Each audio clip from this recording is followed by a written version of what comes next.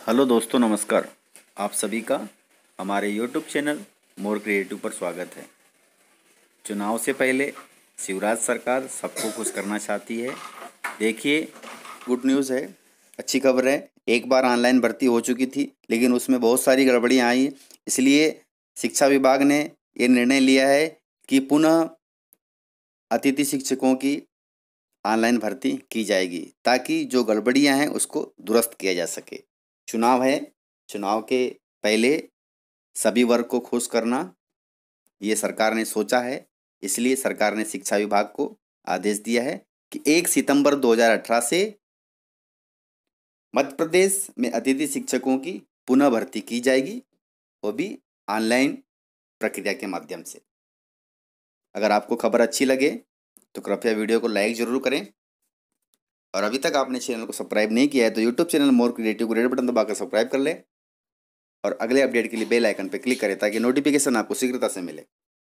YouTube channel more creative समय समय पे आपको जानकारी से अपडेट कराने के लिए वीडियो आते रहेंगे। आप जानकारी से अवगत रहें, आपके लिए बेहतर होगा। देखते हैं पूरा नोटिफिकेशन क्या है। सरकारी स्कूलों में नियुक्ति पाने का मिलेगा एक और मौका। जानिए किन पदों के लिए कब से शुरू होगी प्रक्रिया। उनतीस अगस्त 2018 को पब्लिश किया गया है। ऑनलाइन करना होगा आवेदन। शासकीय स्कूलों में अतिथि शिक्षकों की नियुक्ति के लिए शासन स्तर से एक और मौका दिए जाने का निर्णय लिया गया है। पूर्व में हुई नियुक्ति प्रक्रिया में शामिल नहीं हो पाने वाले अभ्यर्थी इस बार की प्रक्रिया में शामिल हो सकते हैं। शिक्षा विभाग की ओर से दोबारा नियुक्ति प्रक्रिया शुरू करने का निर्णय स्कूलों में खाली रह गए पदों के मद्देनज़र लिया गया है। यानी पिछले बार जो ऑनलाइन प्रक्रिया हुई थी, उसमें बहुत सारी गड़बड़ियाँ थी।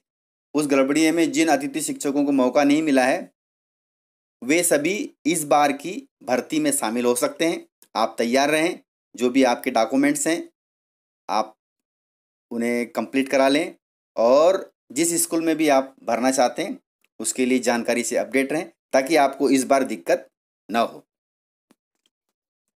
प्राचार्यों को देना होगा नियुक्ति की जानकारी। लोक शिक्षण आयुक्त की ओर से जिला शिक्षा अधिकारी को इस आशय की सूचना जारी की गई है।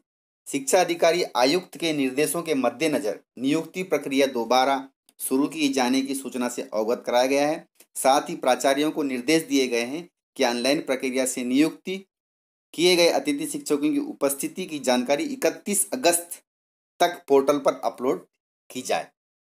यानी पिछले बार की जो ऑनलाइन भर्ती प्रक्रिया हुई थी, उनमें कितने पद भरे गए हैं सभी स्कूलों में, उसकी जानकारी आपको 31 अगस्त तक पोर्टल पर जारी करनी है, ताकि जो नए भर्ती के लिए पद आएँगे, उस हिसाब से उनकी भर्ती होगी। ये शिक्षा विभाग ने, जिला शिक्षा अधिकारी ने प्राचार्यों को निर्देश दे दिए हैं।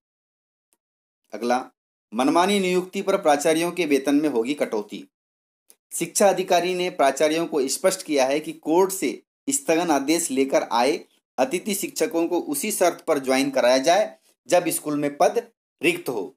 पूर्व से अतिथि शिक्षक कार्यरत हैं तो उसे हटाकर स्थगन वाले अतिथि शिक्षक को नहीं रखा जाना है। शिक्षा अधिकारी ने चेताया है, निर्देश के विरुद्ध अतिथि शिक्षक की नियुक्ति करने वाले प्राचार्य के वेतन से अतिथि शिक्षक के मानदेय का भुगतान किया जाएगा।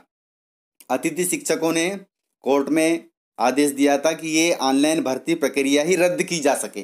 क्यों?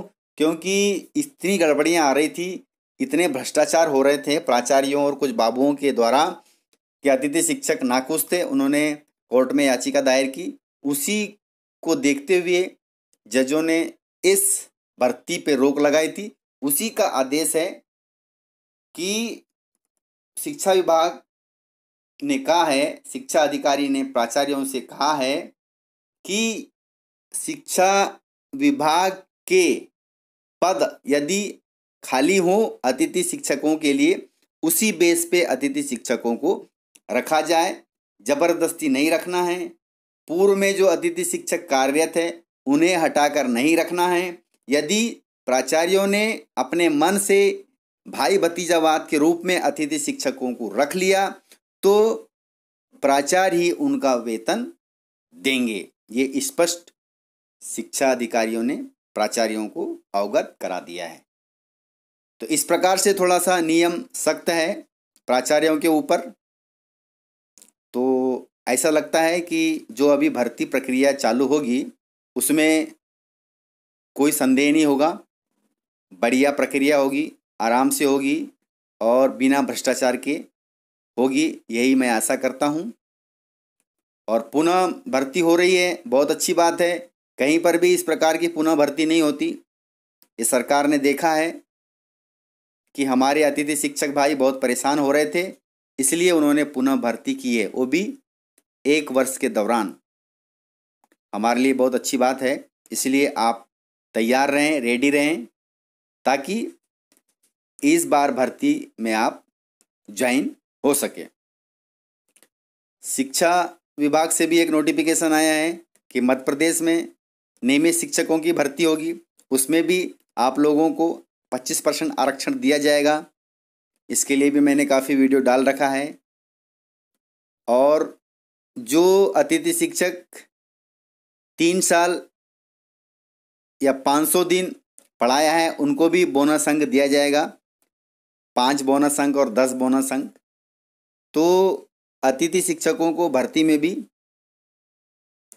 सेवा मिलेगी और इस बार पुनः भर्ती भी हो रही है दो दो खुशियाँ मिल रही हैं। देर आए दुरुस्त आए अच्छा होगा, जो भी हो रहा है। इस प्रकार से अपडेट था। अगर आपको अपडेट अच्छा लगा हो तो कृपया वीडियो को लाइक ज़रूर करें। और अभी तक आपने चैनल को सब्सक्राइब नहीं किया है तो यूट्यूब चैनल मोर क्रिएटिव को रेड बटन दबाकर सब्सक्राइब कर लें। और अगले अपडेट के लिए बेल आइकन पर क्लिक कर दें ताकि नोटिफिकेशन आपको शीघ्रता से मिले। मिलते हैं सर अगले आपके काम की खबर के साथ। तब तक के लिए जय हिंद, जय भारत।